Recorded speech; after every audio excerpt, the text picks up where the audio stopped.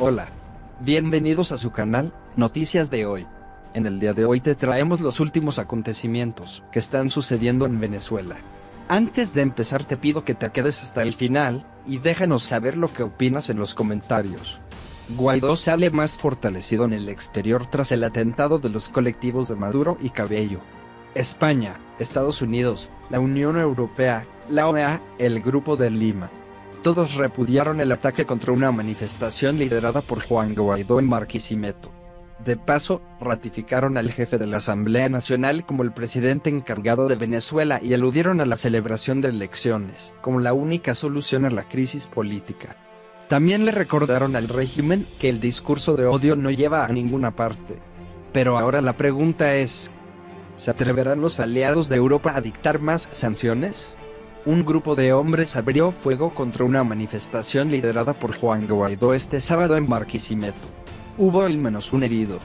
Coches blindados recibieron impactos de bala. Al presidente encargado incluso le apuntaron con una pistola. Inmediatamente la comunidad internacional se alineó con Guaidó y dejaron un mensaje unánime. Guaidó es el presidente encargado de Venezuela. La oposición contra el régimen de Maduro es la oposición democrática. Solo se contempla una solución pacífica. Se apuesta por elecciones creíbles y transparentes.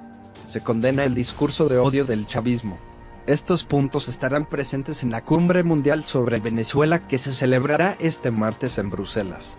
En ella participarán representantes de la Unión Europea, Estados Unidos, el Grupo de Lima, y también aliados de Nicolás Maduro como China. Lo que le ocurrió a Guaidó es otra prueba más para la Unión Europea para que se dé cuenta de que en Venezuela está interactuando con una banda de gángsters y no con un gobierno democrático. Deben saber que con Maduro no sirve la equidistancia.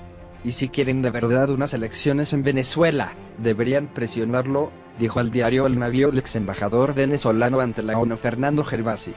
Gervasi añadió que China debería darse cuenta de lo mismo y que, en la reunión del martes, los países, al menos aquellos que están alineados con Guaidó, se pongan de acuerdo en nuevas sanciones al régimen.